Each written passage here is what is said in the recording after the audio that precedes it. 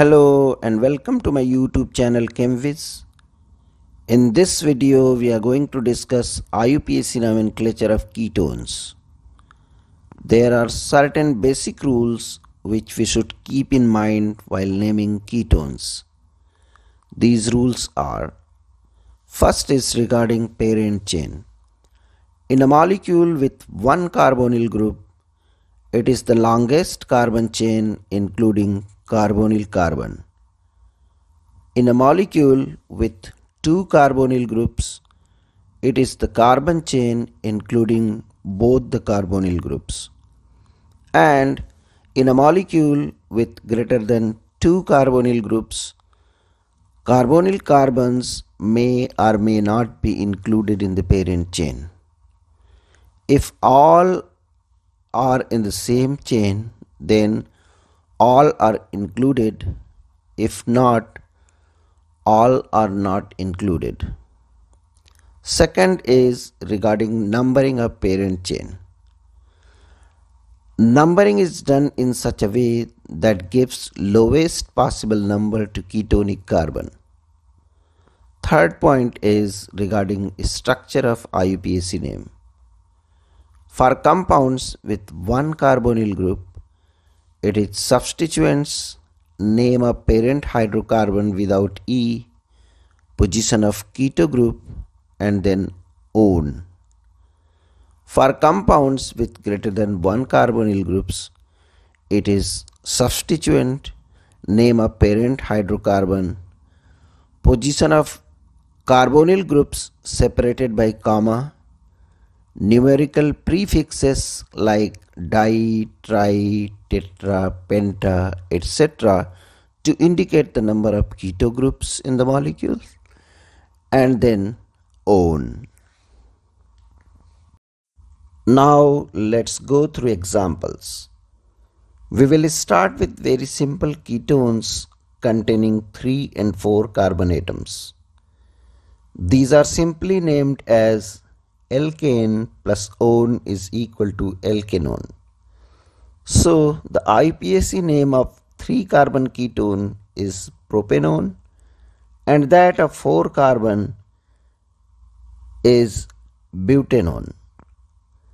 4 carbon ketone may also contain alkenyl or alkynyl groups. They are respectively named as butenone and butynone.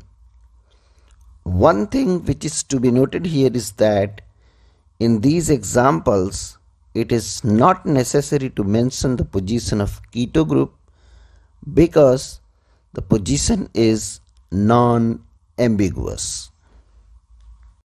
Let's have the example of bigger molecule. Compound A. Here we will go step by step parent chain. In this molecule, this longest chain with 7 carbon atoms containing carbonyl group is parent chain. Numbering of parent chain. Numbering will start from the end giving lower number to the ketonic carbon.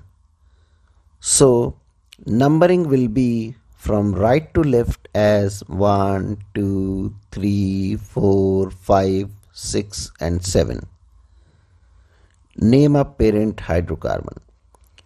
Since the parent chain has seven saturated carbon atoms, so it will be named as heptane. Substituents. There are two substituents, an ethyl at C4 and a methyl at C3. So they will be written in alphabetical order as 4-ethyl 3-methyl. Position of carbonyl carbon it is 2. As we know, IUPAC name consists of substituents, name a parent hydrocarbon without E, position of keto group, and then own.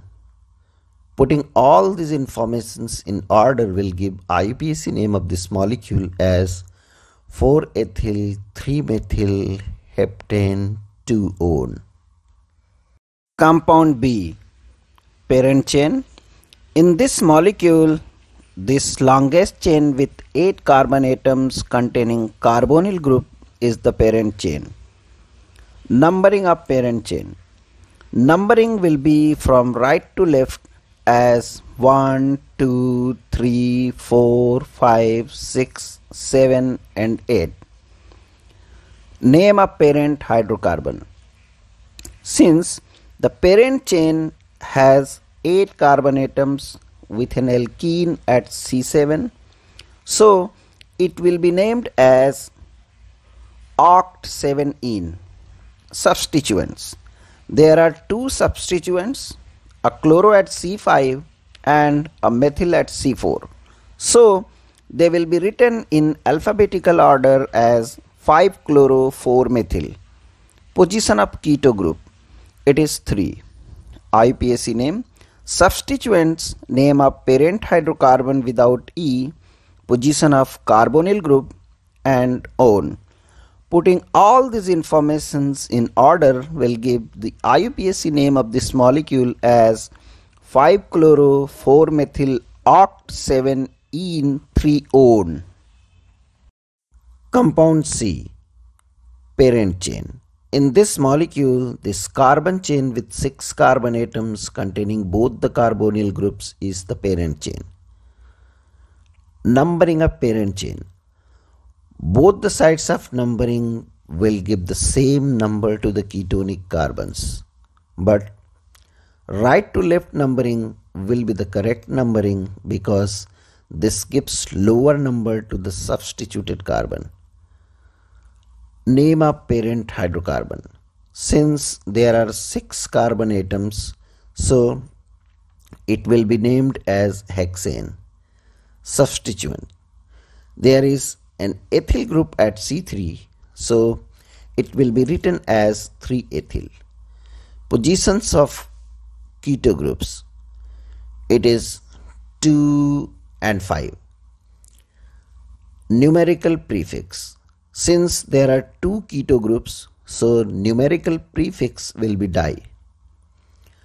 IUPAC name consists of substituent, name of parent chain, position of carbonyl groups, numerical prefix and then on. So the IUPAC name of this molecule will be 3-ethyl hexane 2,5-dione. Compound D. In this molecule there are three keto groups but only two are the part of parent chain while third acts as a substituent parent chain. This longest carbon chain with 8 carbon atoms containing 2 keto groups is the parent chain. Numbering of parent chain. The correct numbering will be from left to right as it gives lower number to the substituted carbon.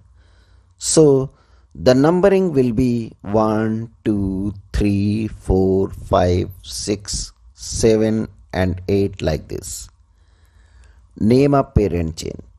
Since there are 8 carbon atoms with only CC single bonds, so it will be named as octane. Substituent. There is